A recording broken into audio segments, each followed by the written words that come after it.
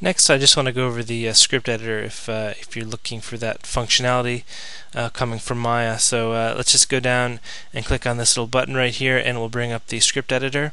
Um, you have several uh, options available in the preferences. So if we go to preferences here, let's just take a look. Uh, we can change the font, font size. We can show line numbers if we want. We can show, you know, white space. Um, you can also change the script language from uh, VScript or JScript. VBScript. I, I uh, generally use uh, JScript uh, when making scripts, so uh, I usually have it set to that. And uh, so let's just create like a really very basic script. Uh, so let's just do a log message, you know, hello world here.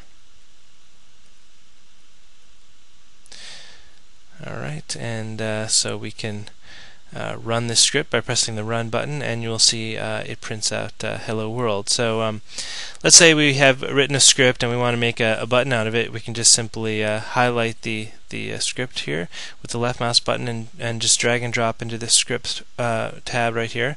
And it will bring up an add script command dialog. So I'm just going to call this hello world.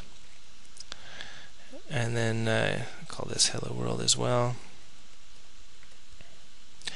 and uh, we can give it a description. And then what it does is it saves out this uh, this script in a in a file location here. Uh, you can change that if you want. Uh, so when I'm finished, you hit OK. And so now I have this Hello World button. So whenever I click it, it will call that script that has been saved to a particular folder uh, on the uh, on your in your directory structure. So you can also hit you know Control S to save your script if you want. If you make any changes.